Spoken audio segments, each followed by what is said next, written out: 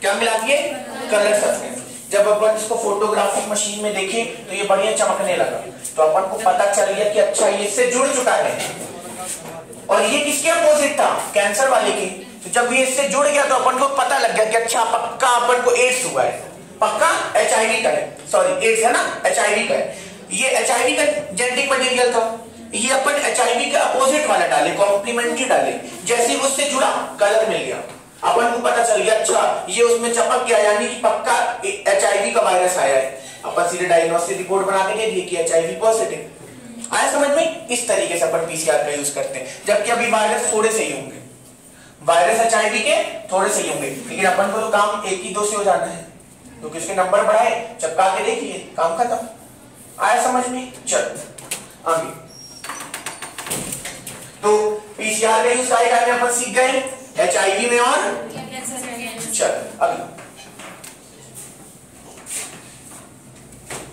Elijah antigen antibody है ना? Interaction के सिद्धांत पर काम करता है बहुत इंपॉर्टेंट है। दो स्टार बना लो अंडरलाइन करो। दो स्टार बना दो इसमें। एलिजा का फुल फॉर्म किस सिद्धांत पर काम करता है? एंटीजन एंटीबॉडी इंटरेक्शन एंटीबॉडी के रिएक्शन पर। ठीक है? अब एलिजा के जब तुम एमबीबीएस और नर्सिंग करोगे ना, उसके कई सारे टाइप्स होते हैं। सैंडविच एलिजा है ना?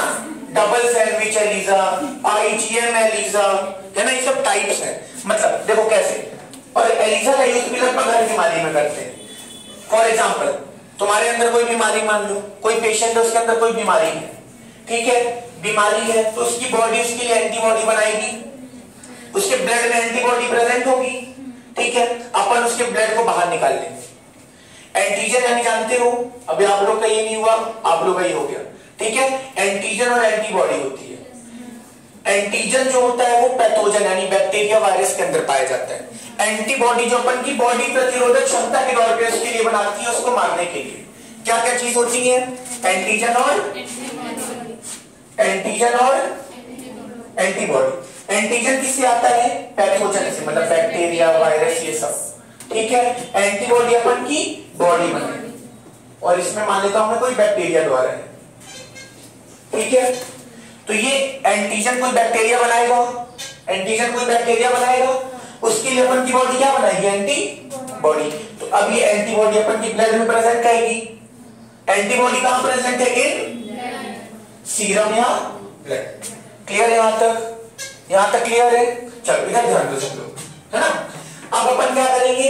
इसको एलिजा वाले मशीन में डाल दिए एलिजा की प्रॉपर मशीन होती है, बाद में पढ़ोगे। ये मान लो एलिजा की मशीन ठीक है? अपन इस एंटीबॉडी को इसमें डाल दिए। क्या डाल दिए? Antibody antibody antibody मतलब सीरम डाल दिया। क्या डाल दिए? इसमें पहले से क्या प्रेजेंट है? एंटीजन जो अपन टेस्ट के लिए डाले थे। ठीक है? एंटीबॉडी का प्रेजेंट थी उसके पेशेंट के ब्लड में? क्योंकि नॉर्मल इसको एंटीजन